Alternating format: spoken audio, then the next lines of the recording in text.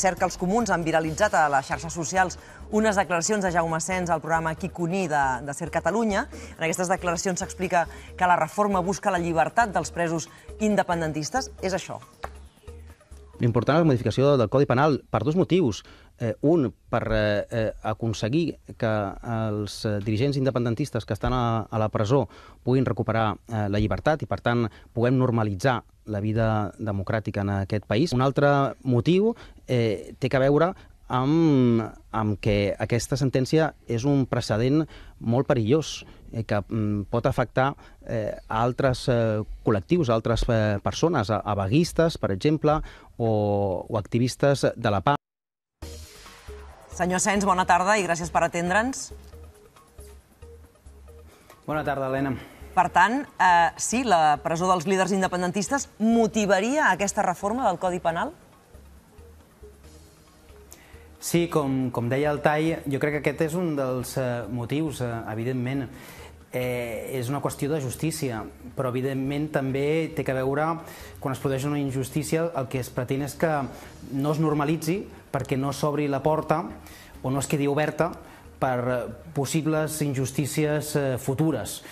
I ara són ells, són els independentistes, però demà pot ser qualsevol poden ser els vaguistes, poden ser els activistes eh, de la PAM, eh, es fa una interpretació del que és el delicte de sedició que per nosaltres el, desborda la, la, la tipificació i que atempta o afecta el nucli central de drets fonamentals com el de reunió o el de manifestació.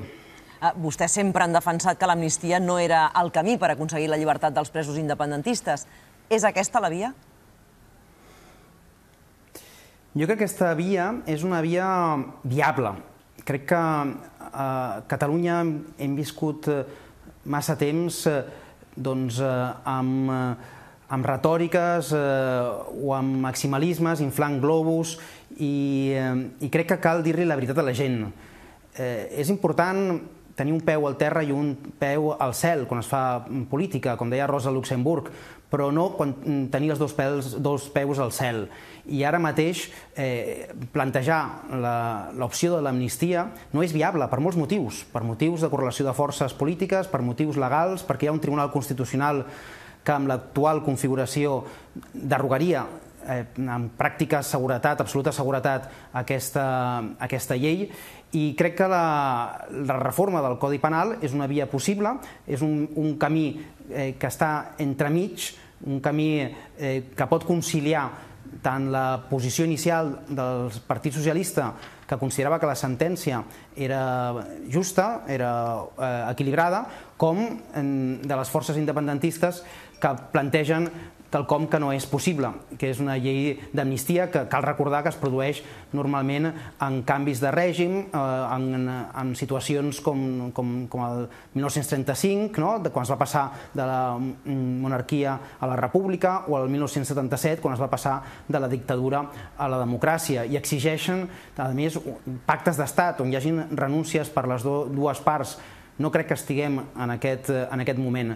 En canvi, la reforma eh, del Codi Penal eh, és una via que és, eh, que és possible i que, a més, té que veure amb una, mm, amb una, amb una diguem-ne, amb una invasió de competències per part del poder judicial, perquè els jutges de, del Suprem s'arroguen una, una funció que no els hi toca, fan una interpretació molt creativa de lo que és el delicte de sedició, un delicte predemocràtic, i eh, el que fan és variar el sentit de la llei.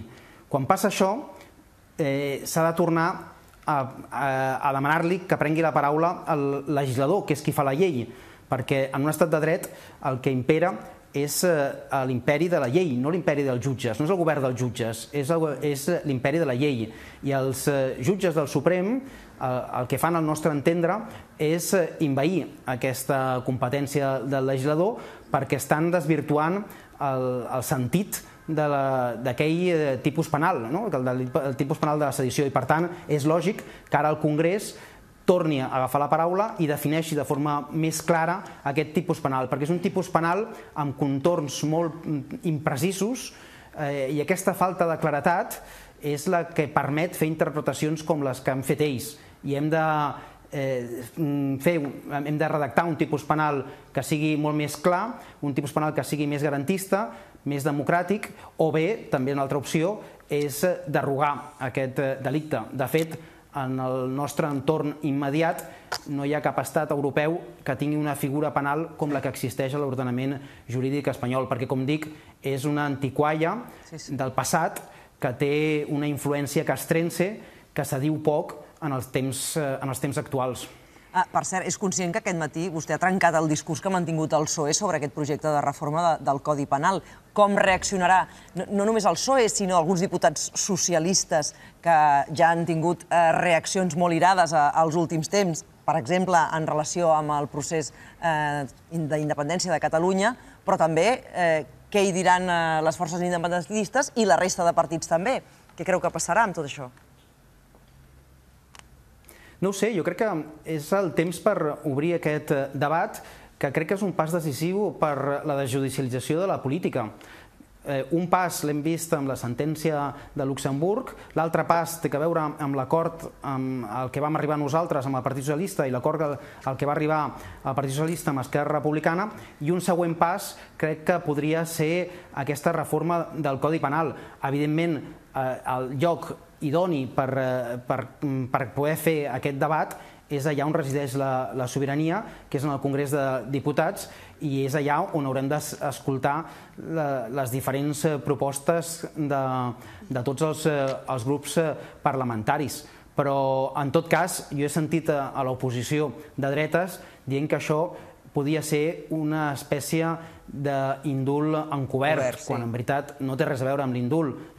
L'indult és una facultat una prerrogativa del poder executiu que no és incompatible, per altra banda, amb aquesta reforma. No, no és una o l'altra, com també s'ha dit, poden ser les dues vies eh, possibles, legítimes, però no té res a veure perquè una és una facultat del poder executiu, l'altra és del poder eh, legislatiu i tenen efectes també diferents però, però crec que en tot cas que és important que 15 dies després de que s'hagi constituït el govern ja tinguem aquest debat sobre la taula. Quan abans el puguem encarrilar, sí. doncs abans podrem normalitzar la vida política del nostre país amb la recuperació de la llibertat dels presos polítics. Ah, per cert que el Tribunal Suprem ha decidit avui mantenir, com sap, i ho parlàvem ara aquí a la taula, la inhabilitació com a diputat del president Torra. Volia saber què en pensa i quin posicionament adoptaran vostès al Parlament de Catalunya?